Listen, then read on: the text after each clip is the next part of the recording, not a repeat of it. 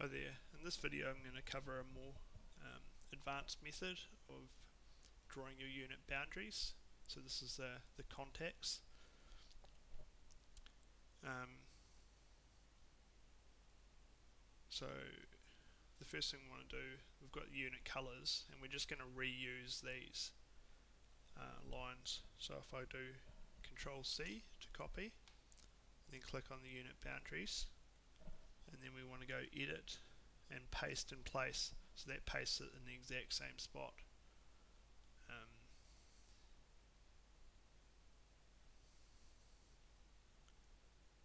we'll just hide those unit colors for now.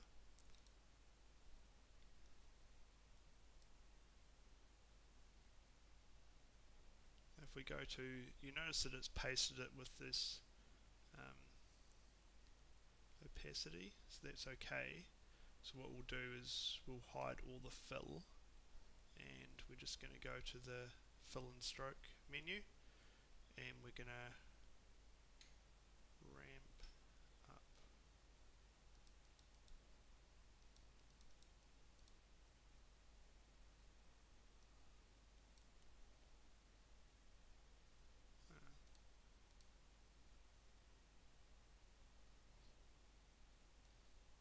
Sorry, I'm just having a bit of trouble here, I think.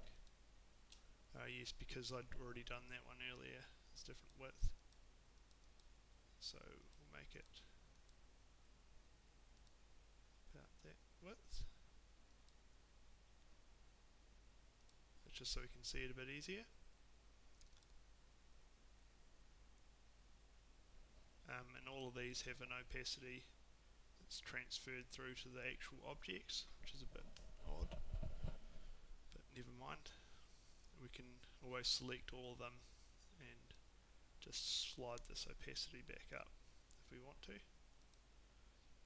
Okay so the process for doing this is we first need to um, get rid of essentially all these extra bits that we don't need. Uh, so what we use is the node tool here. And the simplest way to do it is to simply click on the line you want to get rid of and then this delete segment between two non-endpoint nodes. Um, if anyone knows a better way, just leave a message for me. Uh,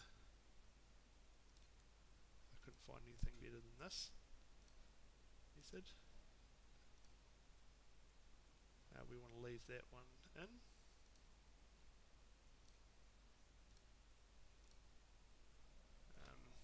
So this line that goes right through here is one we can remove. So we're just removing all those overlap lines. Um, that one there we can remove. That one there we can remove. We can remove that one.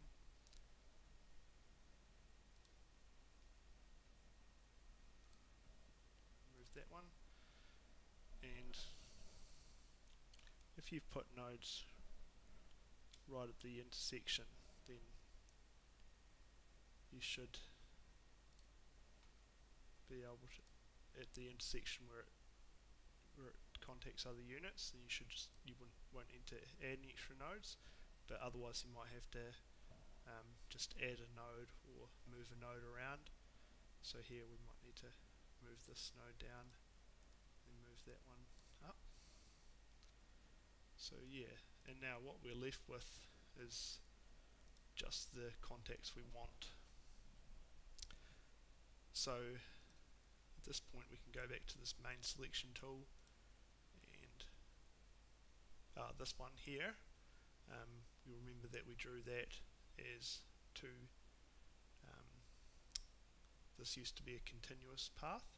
So although we've um, broken apart we've cut it apart here, it's still treated as one single compound path. So we just simply go to path, um, break apart to separate into two separate paths.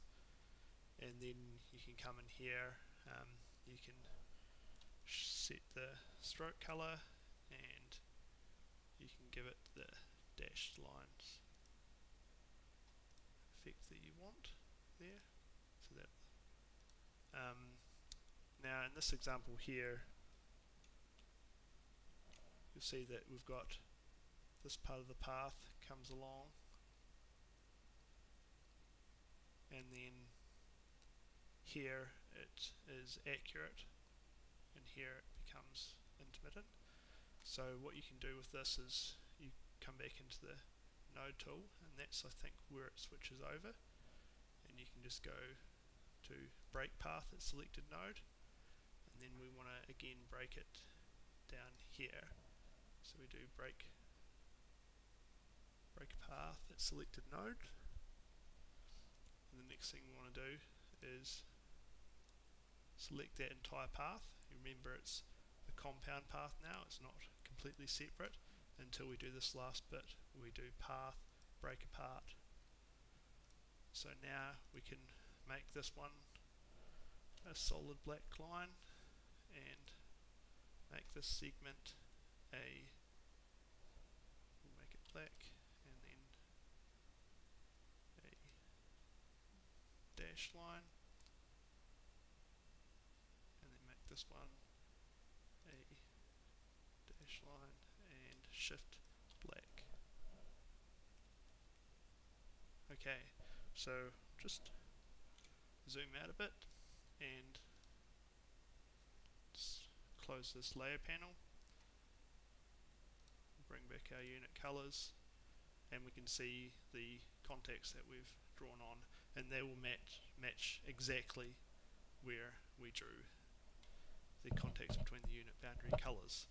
Now if you end up needing to edit these unit boundaries then what you're going to want to do is move them select all the nodes at once and try and move them as a group or you'll just have to revert to the other method. This is where that's where it gets quite tricky, so you really want to get it right first time. Thanks very much.